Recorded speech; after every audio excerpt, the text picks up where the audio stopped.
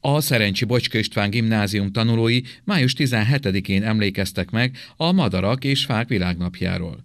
Takács Tímea előadásában többek között kiemelte, hogy az 1800-as évek végétől pusztult az erdő, mező, melynek hatására az európai államok 1902. március 19-én egyezményt kötöttek a mezőgazdaságban hasznos madarak védelméről.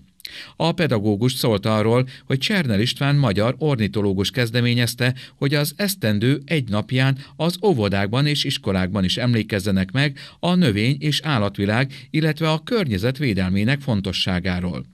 Több kultúrában úgy vélik, hogy a madarak repülőképességük révén összekötik a földön élők és a mennybe költözötteket. Hangsúlyozta Takás Témea a Bocska István gimnáziumban a Madarak és Fák napján.